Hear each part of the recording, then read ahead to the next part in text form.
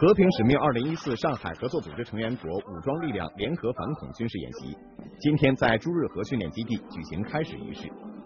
联演实施阶段至二十九号结束，期间将进行协调战役企图、定下战役决心、拟制作战计划、战役实施演练等科目。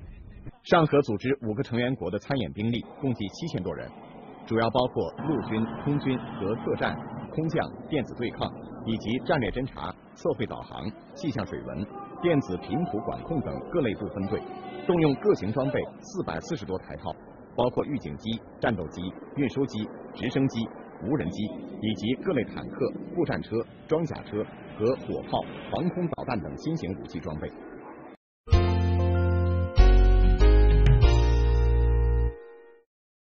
和平使命二零一四上海合作组织成员国。武装力量联合反恐军事演习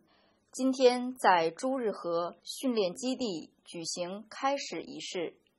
联演实施阶段至二十九日结束，期间将进行协调战役企图，定下战役决心，拟制作战计划、战役实施演练等科目。上合组织五个成员国的参演兵力。共计七千多人，主要包括陆军、空军和特战、空降、电子对抗以及战略侦察、测绘导航、气象水文、电子频谱管控等各类部队，